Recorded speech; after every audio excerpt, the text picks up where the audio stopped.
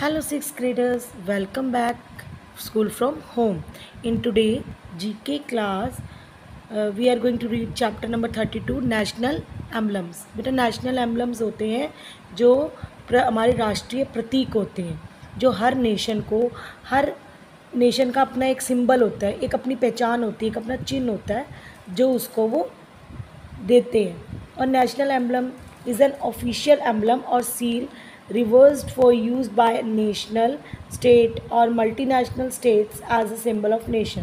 जो national emblem होता है ना, वो ऑफिशियल एम्बलम और उस जो एक ऐसा चीज़ होती है, जो अपने देश को रिप्रेजेंट करते हैं, ठीक है?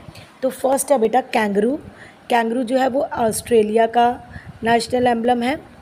वाइट लिली इटली का नेशनल एम्बलम है.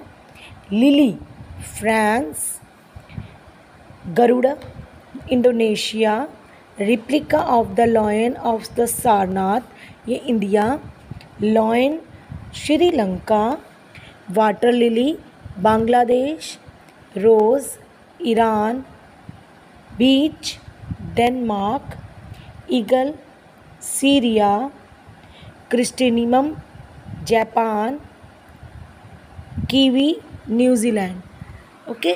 ये बेटे चैप्टर में आपको दे रखे कि नेशनल एम्बलम हमारे कौन कौन से हैं और ये किस किस देश को रिप्रेजेंट करते हैं, ठीक है? तो इसी अकॉर्डिंग हमने इसको रीड आउट करना है, ओके बेटे? So thank you have a nice day